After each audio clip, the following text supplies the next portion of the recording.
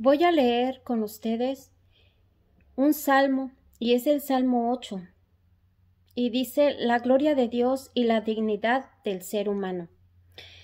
Literalmente, este es uno de los más hermosos salmos de la Biblia.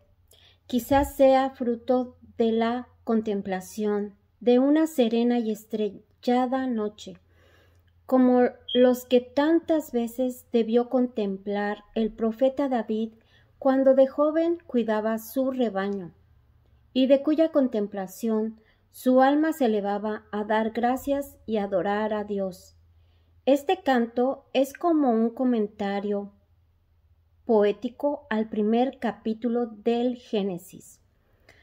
Todo ha sido hecho por Dios para el ser humano, y este ha sido hecho para que le dé gloria a Dios. Nosotros, los seres humanos, debemos de darle gloria a Dios.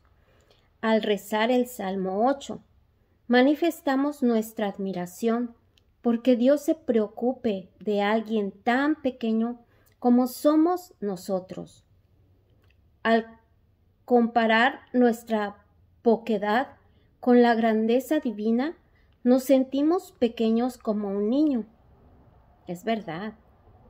Y cantamos un himno de reconocimiento al Creador.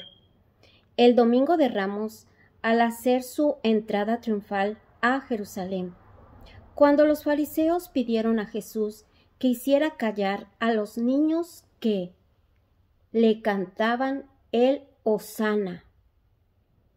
Sí, efectivamente, hicieron ese canto y lo escuchamos cada domingo en, en nuestra misa.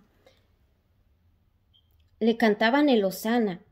Él citó una frase de este salmo en el libro de Mateo capítulo 21 versículo 16, porque aquí se contrapone la humanidad de quienes como niños pequeños cantan admirados eh, al poder de Dios y la autosuficiencia de los orgullosos, que ciegos en sus cálculos materialistas, creen poder organizar su vida como si Dios no existiera.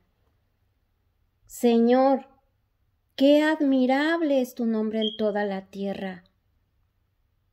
Salmo 8.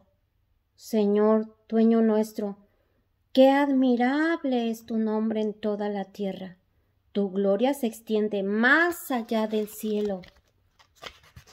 Ensalzaste tu majestad sobre los cielos, de la boca de los niños de pecho. Has sacado una alabanza contra tus enemigos, para reprimir al adversario y al rebelde.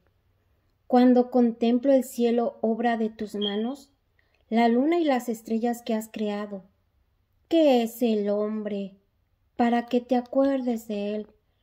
El ser humano para darle poder lo hiciste poco inferior a los ángeles, lo coronaste de gloria y dignidad, le diste el mando sobre las obras de tus manos, todo lo sometiste bajo sus pies, rebaños de ovejas y toros, y hasta las bestias del campo, las aves del cielo, los peces del mar, que trazan sendas con el mar. Señor, dueño nuestro, Qué admirable es tu nombre en toda la tierra. Y con esto diré, gloria al Padre, al Hijo y al Espíritu Santo. Amén. Muy buenos días.